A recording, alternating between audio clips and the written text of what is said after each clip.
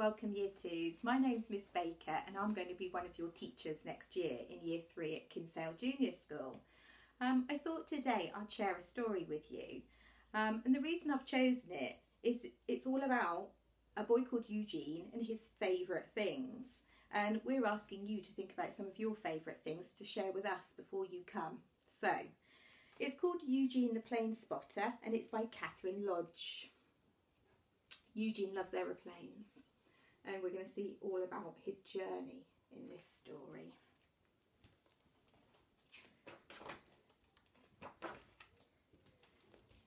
Eugene loved planes.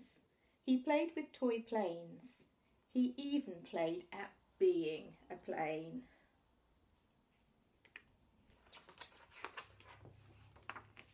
Whenever he could, Eugene went to the airport to do a spot of plane spotting.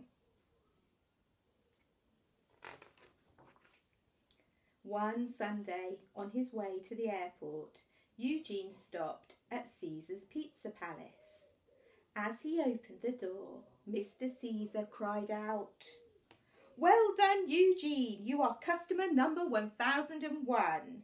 You win the prize, a round the world aeroplane ticket. Wow, said Eugene. Do I get a pizza too? Eugene rushed home to pack, and this is what he put into his suitcase. Five pairs of underpants, one toothbrush, four plane spotter t-shirts, one plane spotter's manual, one rubber duck, one inflatable plane, lots of socks, one camera, loaded, and a passport. One week later, Eugene boarded a big, wide bodied plane. It was the greatest day of his life. He ate an aeroplane meal, he drank four tomato juices, and he ate three packets of peanuts. He looked out of the window. Everything seemed so small. After the plane had landed, the first thing Eugene spotted was his luggage.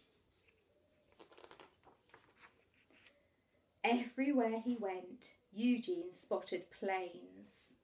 He spotted them over the Eiffel Tower and high above the Alps. Roaring over the Leaning Tower of Pisa and in between the pyramids of Egypt. Eugene spotted planes over the onion domes of Moscow, above the top of Mount Fuji, and across the blue skies of Hawaii. He spotted planes over the skyscrapers of New York.